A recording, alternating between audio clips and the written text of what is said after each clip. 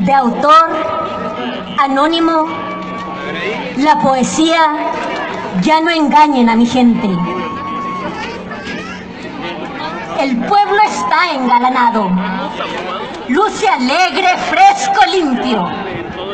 Sus callejuelas torcidas temprano fueron barridas. Desfiles multicolores y por doquiera hay flores. Los chiquillos de la escuela, bañaditos, cambiaditos, lucen surcida camisa y pantalones viejecitos. La banda municipal en el centro del poblado toca ritmo acelerado una marcha original.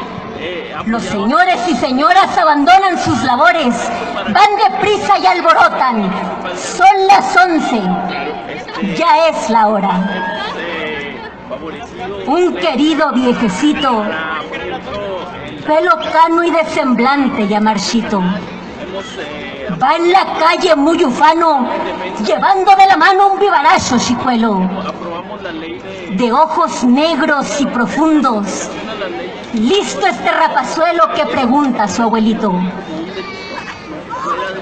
Tata, ¿habrá fiesta? ¿Qué fiesta, abuelito? Claro, mijito. Nos visita el candidato, el presidente y su secre. Los regidores y los alcaldes ya están serios e impacientes. Ahí vienen. Que repiquen las campanas. Que suenen vivas y cohetes. Los músicos una diana y suenen aplausos fuertes. El personaje importante, rodeado de su comitiva, por un lado el presidente habla así a la ciudadanía. Con ciudadanos, les dice, hermanos míos, les afirma, vengo en nombre de mi partido y de la misma revolución a ofrecerles mi ayuda si me hacen gobernador.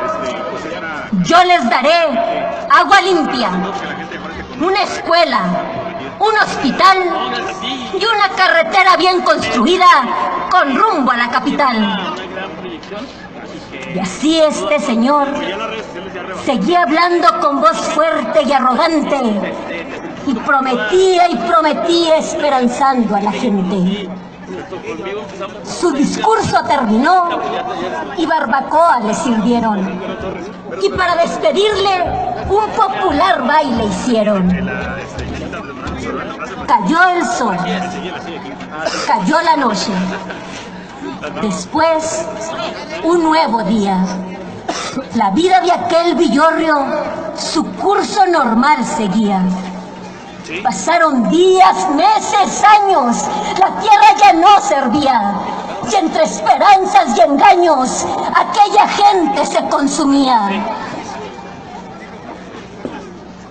En una vieja casita está muriendo un viejecito. Y un joven triste solloza, diciendo así al viejecito. Tata, no te mueras. Ya pronto vendrá el doctor. ¿Te acuerdas que Ancina dijo el señor gobernador? Él nos traerá vitaminas, medicinas, no sé qué. Pero también a la vecina se le muere su José. Es cierto que no tenemos ni frijoles ni tortillas y que a los escuincles se les miran de al tiro las costillas. Pero esto se va a acabar. Ya todo será distinto. Habrá tierras donde sembrar y también mucho alimento. En sus últimos alientos, un consejo dio el anciano. Mijito, ya no te creas de tantos cuentos. Lucha con tus propias manos. Oh, pícaros influyentes, compadres de Satanás, ya no engañen a mi gente.